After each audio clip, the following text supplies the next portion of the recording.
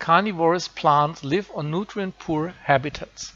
To survive such conditions, these plants depend on animal food. To actively catch insects, the Venus flytrap grows its leaf endings into bilobed capture organs. Searching for food, insects like flies and ants also visit carnivorous plants. When the insect eventually gets in contact with the touch-sensitive trap surface, the capture organ closes and encages the victim. How the fly trap recognizes animal prey. In order to mimic an insect, scientists displace trigger hairs manually and record electrical events, the so-called action potentials. This finding documents that touch, a mechanical stimulus, is converted by the trigger hair into an electrical wave. Two action potentials are required to close the trap. The trapped insect struggles to escape the green cage, repetitively touching the trigger hairs. Trains of action potentials excite the fly trap.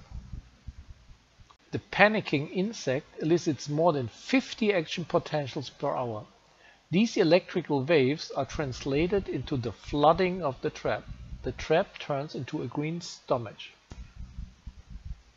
To study the fly trap's response to an increasing number of touch stimuli, capture organs that had been repetitively stimulated were harvested. Following the extraction of the genetic material, the profile of the touch-induced trap genes is analyzed. The molecular analysis shows that from the second action potential on, touch hormones are being activated. Touch hormones induce the production of digestive enzymes. Prey meat disintegrates into its building blocks glands on the inner surface of the green stomach absorb the prey-derived nutrients. The Venus flytrap recognizes a prey by the number of contacts with its touch sensors. Mechanical stimuli are converted into action potentials. Two such electrical signals close the trap. From the second action potential on, electrical signals are translated into touch hormone action. From the third stimulus on, digestive enzymes get produced, and with the fifth signal uptake of nutrients is initiated.